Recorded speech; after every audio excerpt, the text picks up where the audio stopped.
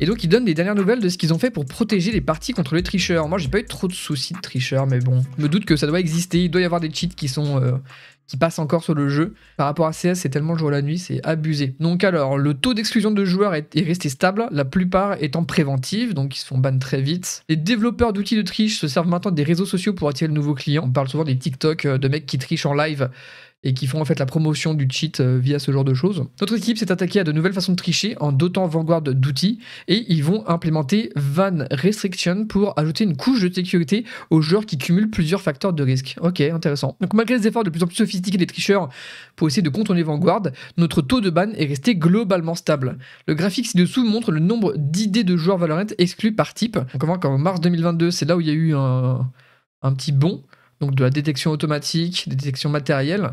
Et globalement, c'est la détection matérielle qui est le plus, haut de ce que je capte euh, ici. Mais on voit que ouais, il y a eu un pic en 2022, mais que globalement, sur tout 2023, c'est en régression. Quoi. Il y a de moins en moins de mecs qui se font bannir. Mais est-ce qu'il y a de moins en moins de mecs qui se font bannir parce qu'il y a de moins en moins de mecs qui trichent ou parce qu'il y a de plus en plus de cheats qui ne se font pas détecter en vrai? Donc les récidivistes, ceux qui utilisent plusieurs comptes pour tenter de tricher sur le même appareil, constituent toujours la majorité des bans des, gros, des gros idiots en fait. Les mecs ils bannent sur un compte, ils se font bannir, ils relancent un compte, ils recheatent et se refont bannir. Des, des- les débiles quoi. Nous cherchons toujours un moyen de les exclure définitivement de notre écosystème. Donc les mecs ils arrivent à retricher un peu mais ils se refont bannir très vite. Moi je croyais que sur euh, Valorant c'était un hardware ban et qu'en gros euh, tant que tu changeais pas une pièce de ton PC, euh, tu pouvais ton PC se faisait automatiquement flag. Donc est-ce qu'au final les bans matériels qui montrent ici, est-ce que ça serait pas au final les bans justement bah, de hardware ban en mode ah on reconnaît que c'est un PC qui a déjà cheat, donc on le rebanne direct. Je sais pas, c'est peut-être ça. Vous avez peut-être croisé sur les réseaux sociaux du contenu faisant la promotion d'outils de triche indétectables pour Valorant, streamés en direct et vantant leur capacité à passer inaperçu malgré des comportements outrageusement illégaux. Si Vanguard détecte facilement ce genre de comportement, comment peut-il être streamé sans conséquence? Parce que c'est des VOD, voilà. La, la vaste majorité de ces streams en direct sont en fait des vidéos enregistrées. Les développeurs d'outils de triche comptent sur le nombre de vues et mentent aux gens sur les réseaux sociaux pour faire la promotion de leurs produits. Bah ouais, ils arrivent à tricher pendant, je sais pas, 2-3 games, ils se recordent et ils mettent la record en boucle. Donc même si les comptes dont les vidéos sont extraites sont exclus rapidement, ils arrivent à en tirer assez de prises pour les mettre en avant en boucle. Donc des, spectateurs naïfs peuvent se laisser berner, acheter l'outil et se sentir puissant un moment juste avant l'exclusion immédiate. Bah la cheat quoi. Les développeurs ont fait du chiffre quoi qu'il arrive et aux surprises, ils ne remboursent pas. vraiment bizarre, vraiment bizarre euh, qu'ils remboursent pas si, tu te fais ban. Chelou hein. Après voilà, ça c'est vraiment les, les cheats entre guillemets pas chers, voire même gratuits, très grand public. Et c'est vrai que la légende raconte, moi j'en sais rien, il y a peut-être des experts, encore une fois, des passionnés dans le chat qui vont pouvoir nous en parler, mais la légende raconte qu'il y a des cheats qui sont du coup privés, des cheats qui atteignent qu'une poignée de personnes qui payent très cher, parfois plusieurs centaines d'euros euh, par mois pour avoir accès à des, euh, à des cheats qui sont tellement privés, tellement euh, cachés, entre guillemets, que du coup ils sont assez indétectables et il n'y a pas euh, 500 000 personnes qui utilisent le même soft et qui du coup se fait détecter. Vous voyez ce que je veux dire? Je n'en ai jamais eu de preuves sous les yeux ou quoi que ce soit, c'est que ce qui se dit entre gros gros gros guillemets. Donc face aux épaisses murailles de Vanguard, les tricheurs se servent de nouveaux modèles pour essayer de les contourner. Une des méthodes les plus innovantes qu'on ait vues dans ce monde de la triche Valorant, c'est ce qu'on appelle le Direct Memory Access, qui fait appel à du matériel pour fonctionner depuis l'extérieur de Vanguard. Donc voilà un exemple de ce à quoi ça peut ressembler, ça m'intéresse ça. À l'aide d'une carte matérielle, les tricheurs peuvent lire et réécrire la mémoire du jeu sans rien avoir installé. Donc en fait, c'est un cheat matériel. Les mecs, ils vont pas juste avoir un software, un logiciel, ils vont avoir une carte à brancher en USB ou même directement sur leur carte mère. Et c'est cette carte-là qui va lire les infos du jeu. Et vu que du coup, c'est matériel, Vanguard a du mal à détecter ça parce que euh, ça c'est en dehors on va dire de son périmètre de recherche quoi et donc la triche se passe par le matériel PC attaquant donc PC en jeu. Donc c'est ça tu peux avoir deux PC genre un, un Raspberry Pi un petit PC un peu comme ça qui se branche par au dessus et en fait tu cheats sur le truc annexe.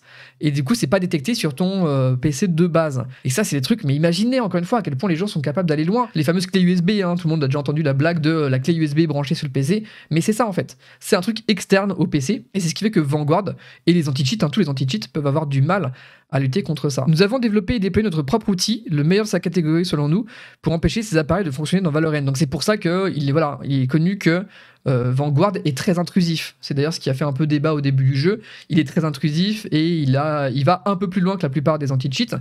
Et c'est ce qui fait que y en a qui sont en mode ouais mais du coup ils peuvent lire nos données, je sais pas quoi. Après, voilà, il faut ce qu'il faut. Si vous voulez être protégé, il faut peut-être aussi accepter de laisser quelques libertés. J'en sais rien. C'est un débat infini sur la liberté de toute manière qui dépasse complètement le cheat et, Valorant.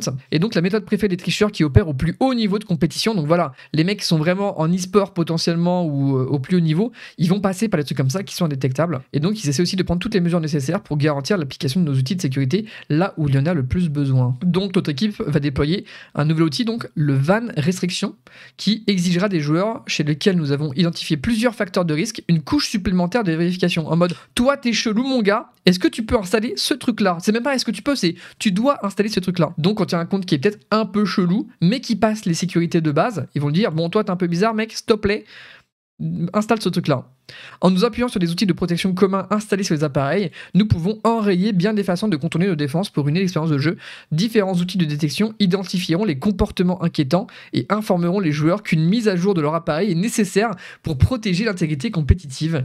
Ces notifications ne sont pas des punitions, et nous attendons à ce que les joueurs concernés se conforment aux règles. Retrouvez plus d'informations à ce sujet ici si vous continuez à rencontrer des problèmes. C'est quoi ça? Moi j'aime bien. Si t'as rien à te reprocher, c'est en mode bah vas-y, Vas-y mon gars, check mon PC. Par contre, si tu as un truc depuis le début de Valo sur ta clé USB et que tu vois ce message qui pop en mode euh, fais une petite mise à jour mon gars, là t'es la goutte au front, t'appelles ton ref qui t'a vendu le truc, s'il te plaît mec, euh, je suis en galère, qu'est-ce qui se passe, qu'est-ce qu'on fait? J'adore moi, j'adore, on pourrait écrire un film là-dessus. Hein. Donc si on trouve qu'un PC a trop de failles, avec par exemple une version euh, dépassée de Windows ou des configurations très spécifiques qui pourraient permettre de la triche, Vanguard va, restreindre l'accès de ce PC à Valorant et leur donner du coup un, message d'erreur. Et ce message d'erreur va du coup euh, demander euh, aux personnes de, qui ont ces, settings de modifier certains trucs de leur PC pour pouvoir rejouer. Donc notamment des options de BIOS, ça peut être des versions de Windows du coup de ce qu'on comprend.